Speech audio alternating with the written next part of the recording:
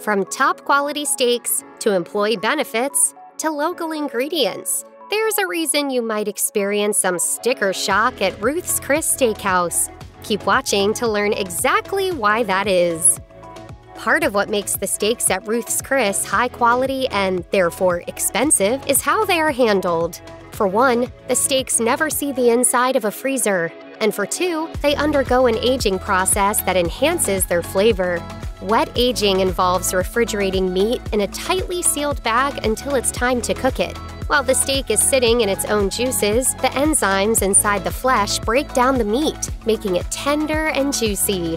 This is worth it for the killer steak you get in the end, but it'll require some patience to get there. Depending on the cut, Ruth's Chris ages its steaks from 14 to 28 days. Technically, wet aging is cheaper than its alternative. Since less moisture is lost, there's a higher quantity of meat to sell. That's why Ruth's Chris switched from dry aging to wet aging in the first place. However, the process still requires time and fridge space. Time is money, as the age old saying goes, so aging the steaks contributes to Ruth's high prices.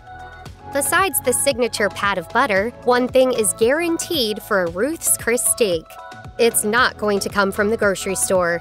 In fact, the upscale steakhouse with the deceptively difficult name, Ruth's Chris Steakhouse, takes pride in selecting the finest cuts for its establishments. The restaurant consistently delivers first rate chops, no matter the location. According to the Ruth's Chris website, the beef is certified prime by the U.S. Department of Agriculture and is sourced from cattle ranches across the Midwest. What constitutes prime? Under 2% of all U.S. beef meets the stringent standards for a prime designation. The animals are typically young and fed a specialized diet, which results in a better tasting steak. The meat is also distinct in terms of look and texture. Prime beef displays visible webs of fat and has a tender consistency, factors that both lend themselves well to grilling. Lower grade selections, like Choice or Select, just can't compare.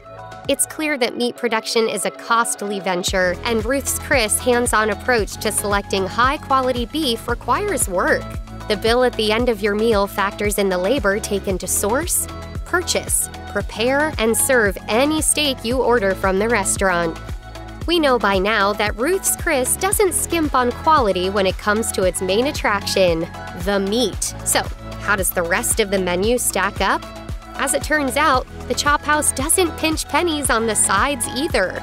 In an Ask Me Anything on Reddit, a self proclaimed Ruth's Chris employee revealed that all the desserts were crafted on site and by hand. Meanwhile, the mashed potatoes are put through a potato ricer and mixed with butter and milk, resulting in pillowy spuds that are light as air. Compared to the frozen sweets shipped in bulk by restaurant suppliers, a freshly baked cheesecake will always cost more. In addition to the time and labor put into preparation, there's the matter of raw ingredients, which can spoil and waste a restaurant's money. Refed reports that about $25 billion in waste is created by restaurants annually. Ruth's Chris commitment to house-made sweets and sides raises its costs, which in turn means you have to pay more. There's no doubt that receiving the bill for a dinner for four at Ruth's Chris can be a rather emotional experience. I haven't cried like that since Titanic.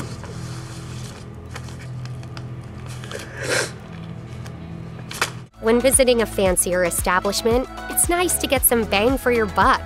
It may be tempting to avert your eyes from the sweat inducing dollar signs looking back at you from the menu at Ruth's Chris. There is a notable trade off to paying more, and that's the portion size. Simply put, the portions are huge.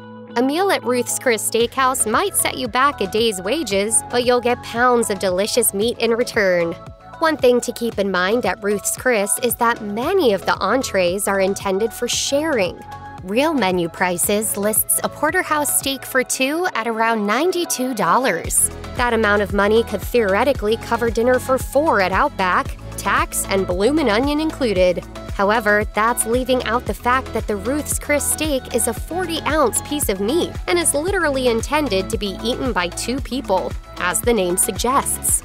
Splitting one lands at about $46 per person, which isn't bad, considering a 22 ounce porterhouse steak at Outback goes for around $37. Steak is expensive, but for the amount of meat you get, the prices at Ruth's Chris aren't outrageous. According to the Washington Post, it's more expensive to buy produce from the farmer's market than from the grocery store, due to the cost efficient perks industrialized farms benefit from, such as large scale equipment for growing food in bulk. They can charge less for food than smaller farms are able to. For this reason, seasonal or local ingredients merit a significantly higher price point than their industrial produced equivalents. It's true the meat centric menu at Ruth's Chris hasn't changed much in the last 50 years. Steak and potatoes seems to hold an enduring appeal. What has changed is consumers' tastes for regional, locally sourced meals. Maui Restaurants blog praised a location in Kihei, Hawaii for serving locally sourced vegetables from the Kula region, and a Ruth's Chris location in Asheville, North Carolina sought to incorporate area businesses like bakeries and coffee roasters into its menu. Sourcing food from local producers is a good move for the steakhouse, but it contributes to the hefty dollar amounts on the menu. Let's face it, your typical backyard grill just can't compete with a steakhouse broiler. That's because the grill masters at Ruth's Chris use state of the art equipment to sear, roast, and sizzle every cut of meat that comes through its kitchen. The steakhouse famously uses infrared broilers to give its steaks a beautifully seared exterior. Per Dine magazine, Ruth Fertel had a background in chemistry and physics and designed the first broilers herself using her book smarts to perfect an 1800 degree broiler that precisely seared her steaks. Today, restaurant supplier The Montague Company lists Ruth's Chris as a client. A Montague C45S broiler, which is the model allegedly used by the chain, goes for over $16,000 on Kitchen Restock. That's a staggering amount. But investing in quality kitchenware adds to the price of the food at Ruth's Chris Steakhouse. Ruth's Chris takes care of its employees. A list of benefits shows staff members can receive health insurance, vacation, retirement, and disability. Additionally, employees can access extensive training programs, including leadership development and opportunities for job growth within the company. Offering these benefits might be expensive, yet, in the case of Ruth's Chris, it's an investment that only grows over time. In 2019, Ruth's Hospitality Group CEO, Cheryl Henry, recalled a story involving a young cook who worked at the steakhouse back when Ruth Fertel was in charge. The employee was experiencing a rough time at home, and as a way of helping him to regroup, Fertel extended him some grace by giving him a week long paid vacation. The result? He prospered in the company, working his way up to the top spot in the chain's culinary operations department. For Ruth's Chris, retaining employees for the long haul is a worthy investment, and you're paying for that as a customer. One of the key reasons why Ruth's Chris Steakhouse is so expensive is obvious. You're paying for the experience. Think about what you're looking for when you visit a fancy restaurant. It's not just the convenience of having food prepared for you, though that's certainly a major part of it. It's also the high standards practiced by the establishment. Is the dress code formal? Is the dining room clean and attractive? Are the servers properly attired, friendly, and professional? Throw in the leather bound menus and wine recommendations, and it's clear that the ambiance offered by a steakhouse is special. High end steakhouses also make impressive backdrops for business deals. As one Reddit user who's worked at Ruth's Chris put it, it's known for being a high end steakhouse, therefore, a lot of companies go there and throw around their money. Perhaps you could grill your own porterhouse at home. You could even sizzle some butter in the pan for kicks and pour some Merlot to make yourself feel fancy. But you would need to do the work yourself in preparing the meal, from grilling and seasoning the meats to crafting the side dishes and dessert. At Ruth's Chris, you're paying for the luxury of having other people do all that work for you. Per the National Restaurant Association, restaurants contribute $3 billion annually towards charitable causes. Ruth's Chris Steakhouse is no stranger to philanthropy. Over the years, the restaurant has poured thousands of dollars into combating social issues throughout the local community. they have contributed to nonprofits targeting hunger, child abuse, and societal neglect. Atlanta area locations support the Giving Kitchen, donating $50,000 between workers and the restaurant itself. Ruth's Chris also offers donation matching on gift cards. According to the company, customers who purchase a gift card of at least $25 to use for a charitable event at the restaurant will have the value matched by Ruth's Chris.